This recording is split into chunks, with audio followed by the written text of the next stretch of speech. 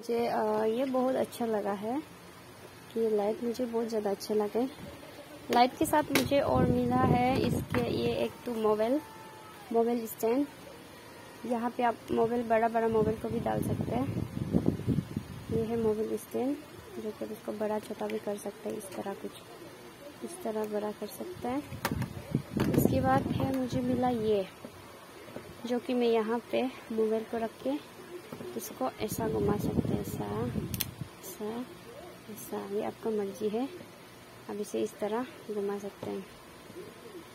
सो so, इसके बाद अभी नेक्स्ट है मेरा um, मैंने ये माइक ऑर्डर किया छोटा सा माइक तो मुझे माइक मिल गया है।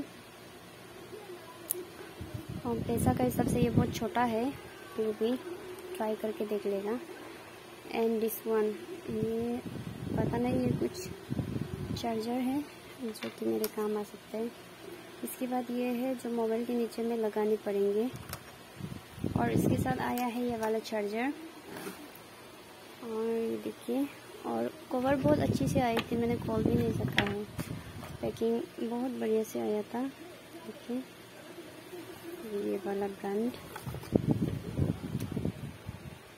हमें ये मिला है।